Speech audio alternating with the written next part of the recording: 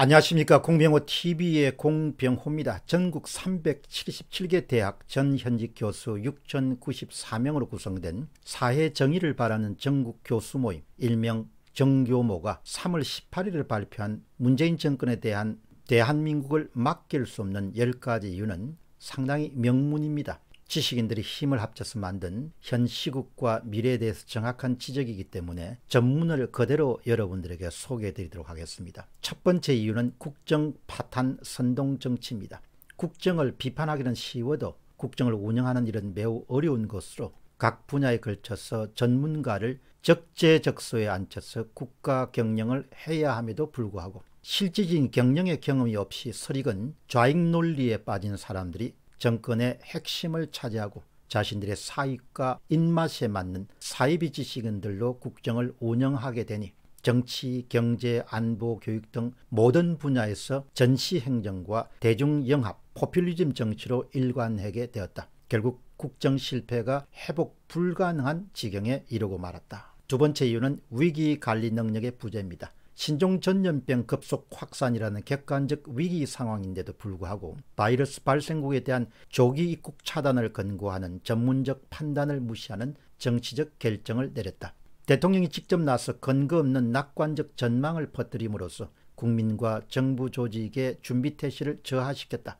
그러고도 언론과 여론을 동원해서 책임을 특정 국민 집단에게 돌림으로써 책임 정치마저 외면하고 있다. 세 번째 이유입니다. 헌정 파괴 무능 정권입니다. 정부가 사법, 외교, 국방, 대북한, 보건행정 등에서 헌법을 비롯한 법 질서를 준수하지 않고 특정 이념과 집단 이익을 옹호하며 국민의 생명과 재산마저 보호하지 못하는 정책들을 취하고 있다. 정부의 각 기관은 자신들이 해야 하는 업무의 올바른 방향성마저 상실하고 있다. 네 번째 이유입니다. 비리 은폐 개혁 후퇴입니다. 정치 권력의 검찰 장악을 가속화하는 공수처 설치를 강행하고 국민적 관심사인 울산시장 선거 개입건 등 권력형 비리와 부패를 수사 중인 검찰 인력을 이례적인 시기에 비정상적인 절차를 거쳐 교체하였다.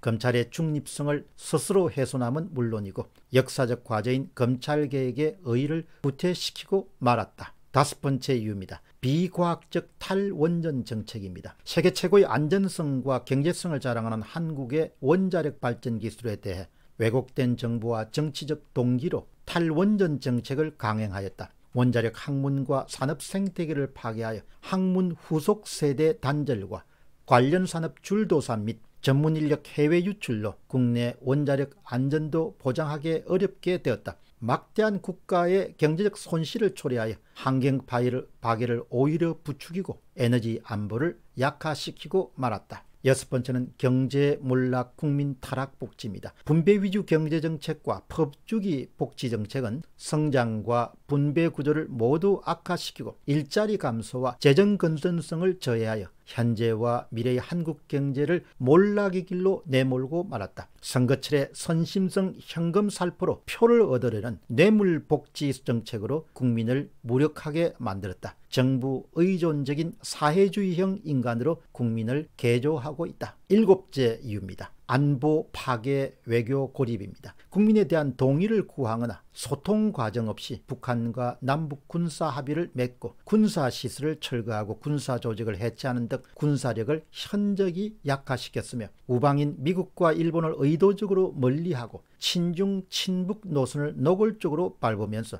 안보를 위태롭게 하고 외교의 고립과 국격 하락을 자초시켰다. 여덟 번째는 정체성 해체 이념 교육입니다. 교육 정교조 교사의 좌편향 이념 교육을 묵인 및 방조하여 학교 교육을 좌파 이념의 재생산 기지로 전략시키고 말았다. 외고, 자사고, 국제고 폐조 같은 시대의 착오적 사학 말살 정책을 국민적 논의 없이 조국 사태 후속 조치 차원에서 정격 실시하였다. 교육의 또 다른 목표인 자율성과 다양성을 침해하였으며 역사 교과서의 자유민주주의에서 자유를 삭제하여 대한민국의 정체성과 헌법 정신을 부정하였다. 아홉 번째 이유는 동맹 파괴 대중 굴종입니다. 문재인 외교는 전통적 우방국에 대해 당당한 태도로 맞서자는 자주 외교를 내세우면서 실제로는 미국과 일본과 같은 우방과의 관계를 교모의 갈등 관계로 전환하여 친중과 친북한 민족 해방 NL 노선으로 연결하고 있다. 이는 진정한 외교의 자주성이 달성될 수 있는 유일한 길인 실리 외교와 동맹 외교를 배척한 결과로 이어지고 말았다. 미국과 일본에 의한 통상 압력을 낳고 대한민국의 운명을 불안정한 지역 패권 세력인 중국에 대한 굴종과 전체주의 사회인 북한 체제와의 동조의 길로 내몰고 말았다. 마지막 열 번째 이유입니다. 국민 분열 전체주의 추구입니다. 집권 핵심 세력을 형성하고 있는 인적 네트워크 내에서만 소통하고 이익을 공유하여 집권층 내의 비판 기능은 실종되고 국민 통합은 근본적으로 저해되었다. 여론 조작과 통계 조작을 통해 반복되는 거짓과 선전과 선동의 정치로 국가 체제를 유사 전체주의 체제로 몰아가고 있다. 국민의 삶의 질을 현저히 떨어뜨리면서 자신들은 핵심 지배계층을 구성하여 영원히 지배하려는 장기 집권만을 꿈꾸고 있다. 여러분들이 지금 들으신 내용은 전국 377개 대학 전 현직 교수 6,094명으로 구성된 사회 정의를 바라는 전국 교수 모임 정교모가 3월 18일에 발표한 문재인 정권의 대한민국을 맡길 수 없는 10가지 이유를 여러분들에게 읽어드렸습니다. 공병호 TV의 공병호였습니다. 감사합니다.